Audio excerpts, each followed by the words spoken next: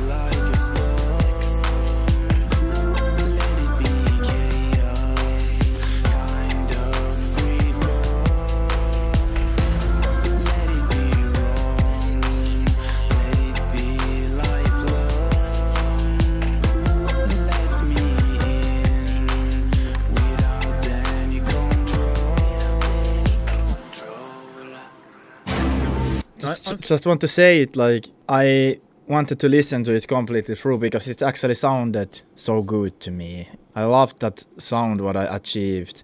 There is many things what is making this happen. And like it's about the control. It's mostly about the control. And we can start from the bass. Let's go from the like below up. Like what I'm doing with the bass here. Okay, it's very basic 808 kind of sound.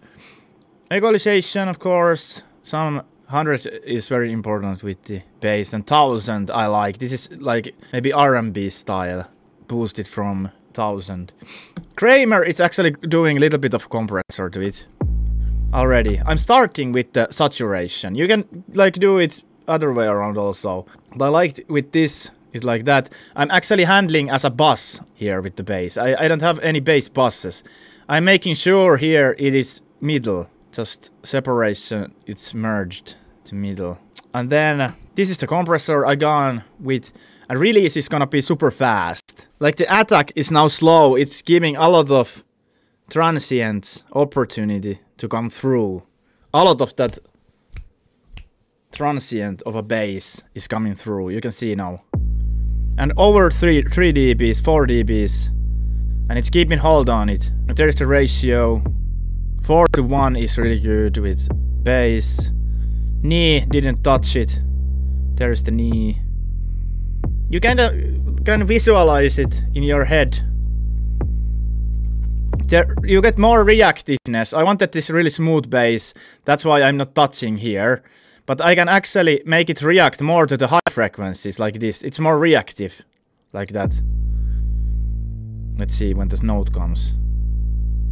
It's more reactive. Because it's reacting only to the high frequencies. It's compressing the low frequencies, only reacting to the high frequencies. Now it's like smooth. It's reacting to every frequencies. Hmm. Maybe like that it would be a little bit more natural sound and I don't bother. There might be a little because the release is so fast. There might be a little bit of this artifacts coming to it. So sometimes you need to a little bit raise the release, but you're actually losing the low end, like this. But now you give the all of it because it's letting go a bit faster with the transient. But like that's basically basically the idea.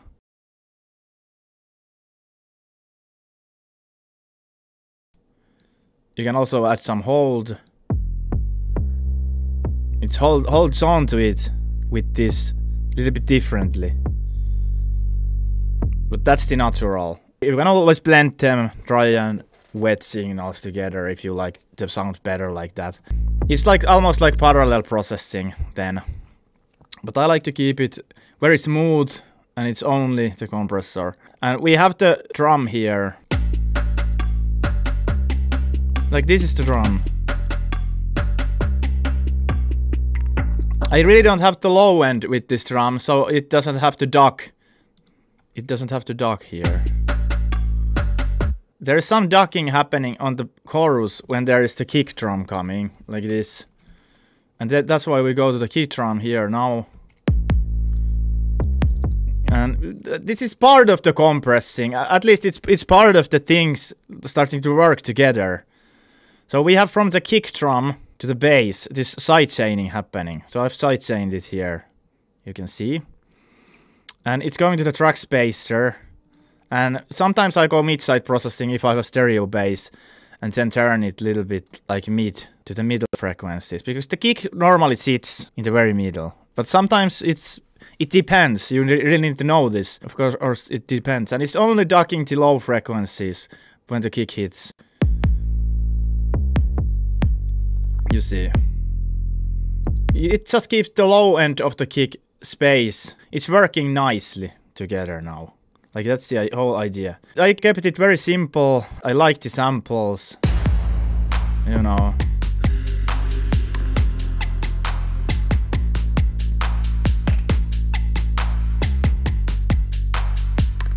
You know. And guitar. Check the guitar.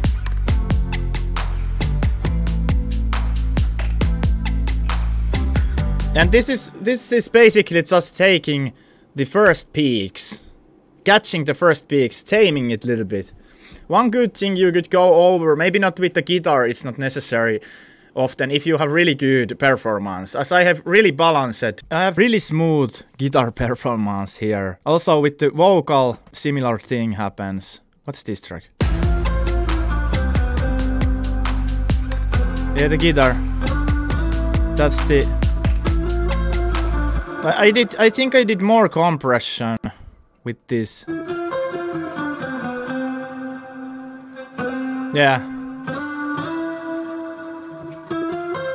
It, it makes it a lot of more aggressive. What's happening here with the attack and release? This is FET compressor and what I found is that it's good compressor for being the first compressor is because when you use super fast release, it is actually so fast. It's the fastest compressor you can find. There is another option what I have here. It's the Softube FET compressor. This, this is pretty expensive, but that's also a FET type. Fast. That is just a word I would keep in mind when talking about FET compressors fast compressor. So it's hyper fast and 4 to 1 ratio when I'm using and I like this attack. It's again it's slow. It's like when it's 1 it's as slow as possible here. This is how it works with the this at, at least this model LA76 CLA76. Very fast release. Again, it's just reacting much faster. It's keeping all of it there basically. Now that I'm compressing so hard,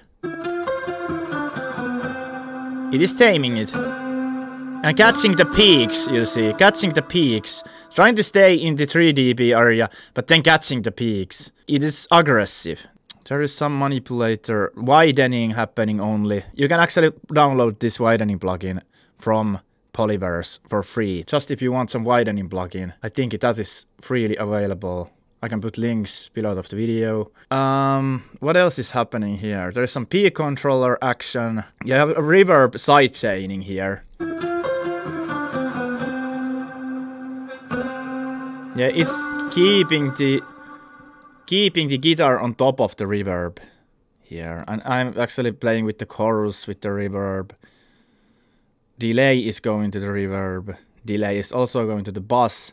And I didn't have any other compressions here. There is actually one better, I would say maybe it's a little warmer. It's this CLA3A. I think that's some form of transistor compressor. I'm not sure. It's more suitable. I've seen many professionals using it with the guitar.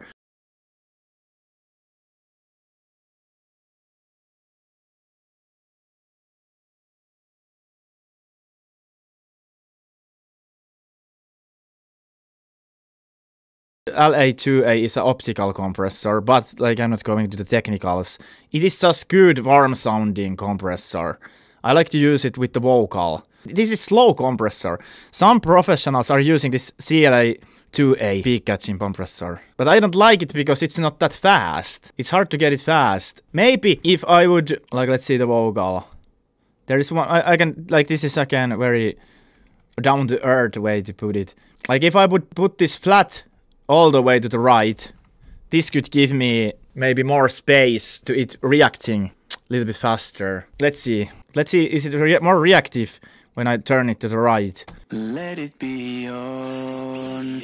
Let it be like a storm. Like, let's see here. Let it be chaos. Kind of yeah, now it doesn't react. You see.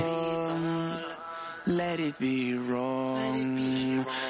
It be lifelong.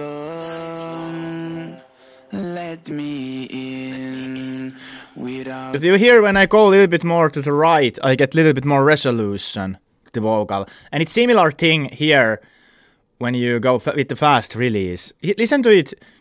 It's the main vocal, maybe a solo it. Look when I take this really slower. Let it be on, let it be like a storm. I lose the crispiness of the vocal. That's why fast release works so well with vocal. You maybe heard it. Let's go replay. It's just fast. Let it be on, let it be like a storm. You hear?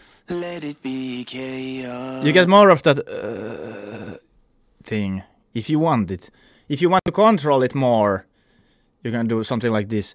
With some vocal, female vocalists, I found that when you go a little bit like this, it maybe softens it a little bit, the vocal performance, when there is some mosquitoes in the vocal. So this might be a good articulation trick. You go more over of the articulation with the attack knob, actually. Let it be on, let it but you get like you easily get too much of the transient with the vocal if it's too slow. That's also a thing. But now that's it. I go back over to the guitar because there is important thing happening with it's going delay, reverb, and the side chaining of the reverb happening here. This is the lead guitar. And then we go to the bass. And it, actually the main guitar is also bassed here. And we are doing compression again Let's go over and listen to the guitars. Compression, 3 dB. I love the number of 3 dB. When you go in layers, this gives you a lot of space it to sound really natural at the end result. At the end. Then we go Saturn, it's saturating, boosting the low end, just to keep the warmth to it. Warm tape and boosting the low middle frequencies. This helps it to sound really warm, the guitar. Not gonna steady it anymore but it's actually one form of compression when you add saturation. It's make, making it richer and more balanced, more warm, more down to earth, more grounded, everything good words. Maybe if you boost higher ends, maybe you get some crispiness if you like. It's also important to control some frequencies with equalization, maybe if needed, if need to be. You can needle some frequencies, or then you can go over to use some Soothe or TDR Nova kind of plugins, which are gonna ta be taming those frequencies. One good way oh, would be go over and try to find these bad frequencies like this.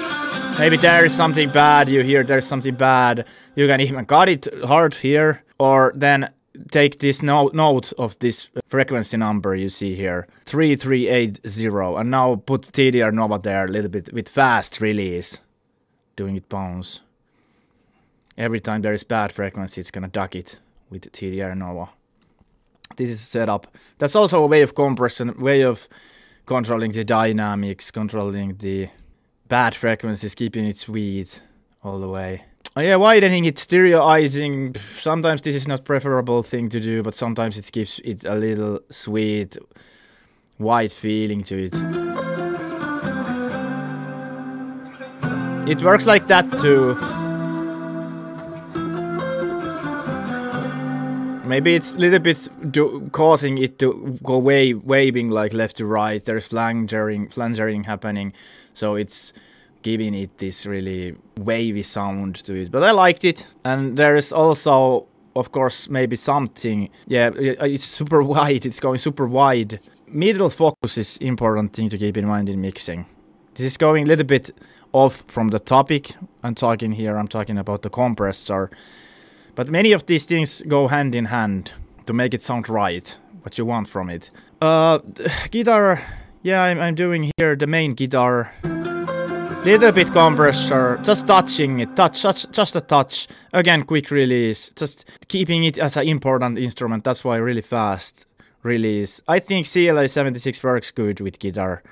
If you just keep in mind that you warm it a little bit in the bass. Because I guess this CLA 3A is a little bit warmer with the guitar. Yeah, it might be a little more preferable with that. These are my go-tos. I know Dua Lipa's producer also a lot uses just these. And I know he's one of the greatest mixers, one of the greatest producers in the world. So this is this is one of the reasons. I like to glue everything together with the Saturn saturation and then with Ozone 8 I can even like here I can control and use some compression to it.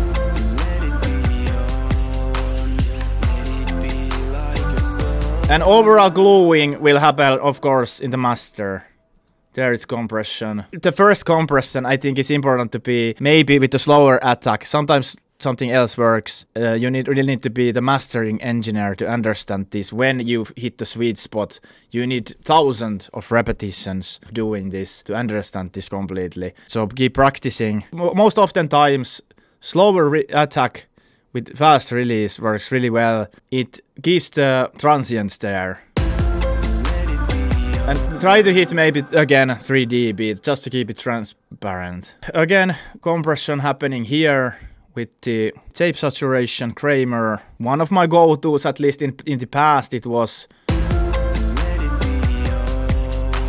And this helps you really a lot. This tape saturation in the master bus helps you get the loudness higher because it rounds the transients, it rounds the overall of it and eases with the peaks, saturates it, balances it, and yeah, it's gonna it's gonna help you to in the like later layers if need to be like push it. There is some kind of mixes you want to really push, give it a push. Then we go Gullfoss. It's giving it a certain kind of feel.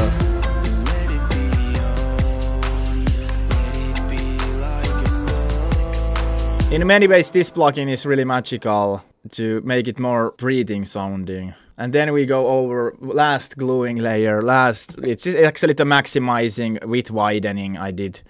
And no stereoize anymore in the master, I played with it already in the mixing process. And it's just a touch, you know. This is the chorus, this is actually the hardest part in the track. We can look what the level is.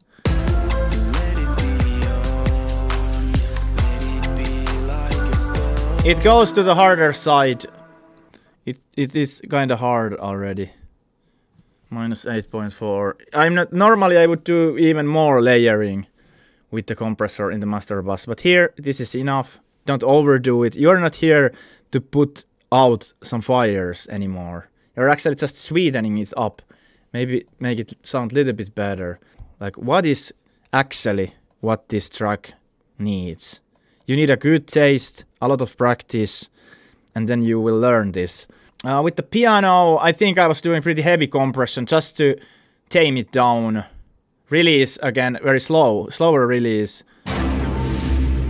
Do we have the piano here? You see,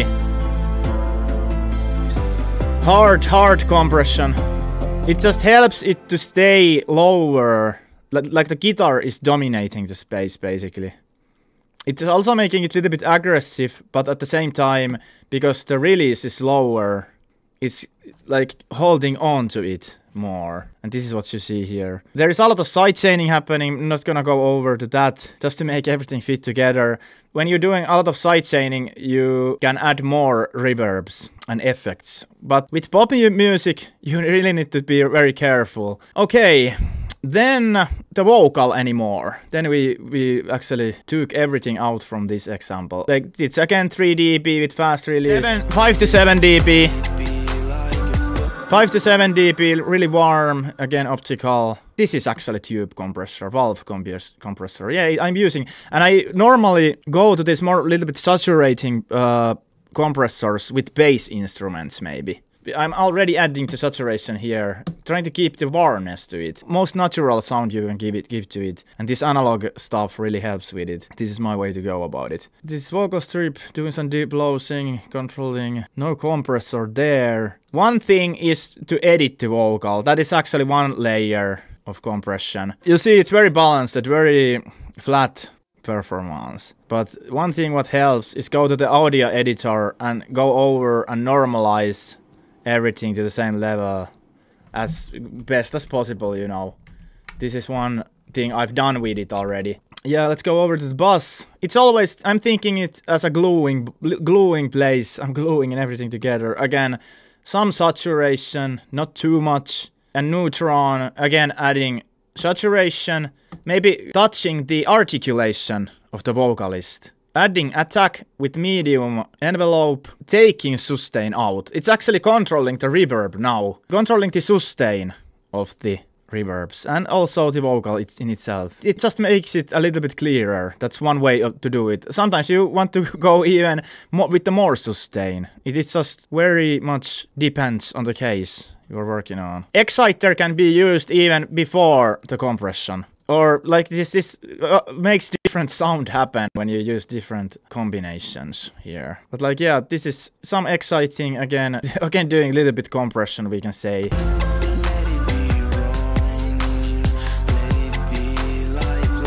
And this is just any more small movements here. 1.4 to 1 not adding any gain here. I can even control it if i see it peaking always remember control. And then we, this is my style of really getting the vocal in front of you. Like I'm adding imager, making it more stereo, uh, some limiting. It's actually maybe touching the peaks somewhere. Not really nothing happening with it. Maybe I'm doing it here, heavy limiting with modern setting, some character,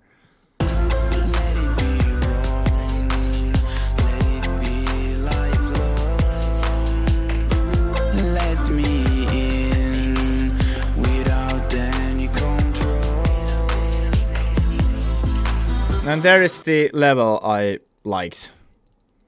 If you mix vocal too high, the background will sound weak, you know. Sometimes it feels good. If you listen to Billie Eilish, it's just the vocal. You there is no respect to anything else, just the vocalist is this important there. It depends. But those are some ideas I have here on the bank for you with this project, this, with this example. I hope you enjoy and you find something that will help your mixes come better. It's little messy, messy video, messy explanations. It's analog, making everything rounder, rounding the sound. Uh, like again here analog. I love the analog word. It's a beautiful word. It's always a warm word. Trying to make everything sound as good as possible. And remember always, nothing's perfect. There is only a good taste and good skill, and this will give you results through a lot of repetition. Thank you for the video. Thank you for watching. See you on the next one. Subscribe and like the video. It will help me a lot. Peace out.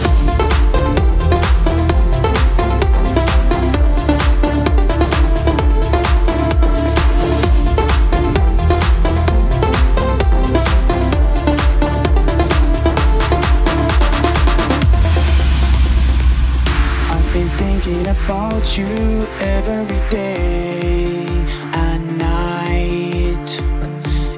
darkness, when I close my eyes, I see you.